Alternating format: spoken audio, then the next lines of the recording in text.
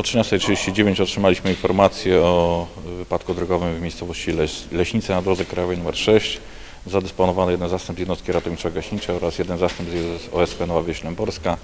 Na miejscu okazało się, że doszło do zderzenia samochodu osobowego z samochodem dostawczym. W wyniku tego zdarzenia jedna osoba kierująca samochodem osobowym została zabrana e, przez zespół ratownictwa medycznego do szpitala. Działania nasze polegają na zabezpieczeniu miejsca zdarzenia oraz wykonaniu e, dostępu do osoby uwięzionej w rozbitym e, pojeździe przy pomocy sprzętu hydraulicznego.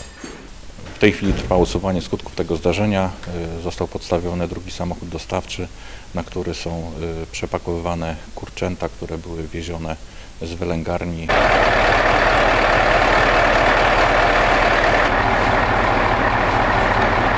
Było to zdarzenie e, pojazdu Opel Astra oraz dostawczej Toyoty, e, która przewoziła e, malutki drób. Sprawcą tego zdarzenia był kierujący m, Oplem Astra, który nie zachował ostrożności i po prostu nie zapanował nad prowadzeniem swojego samochodu i dlatego doszło do tego zdarzenia. Za to, za spowodowanie tego zdarzenia zostanie ukarany. Kierujący samochodem Opel Astra z kierunku Słupska w kierunku Lęborka nie zapanował nad prowadzonym e, przez siebie pojazdem.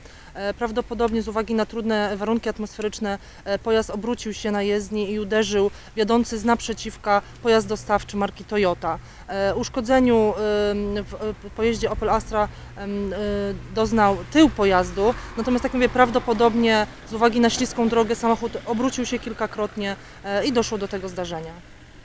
W tym momencie e, prowadzony jest tam ruch wahadłowy e, i też apel do wszystkich kierujących z uwagi na to, że drogi są śliskie, mamy zimę, żeby jednak nogę z gazu zdjąć e, i powoli dotrzeć do wybranego przez siebie celu.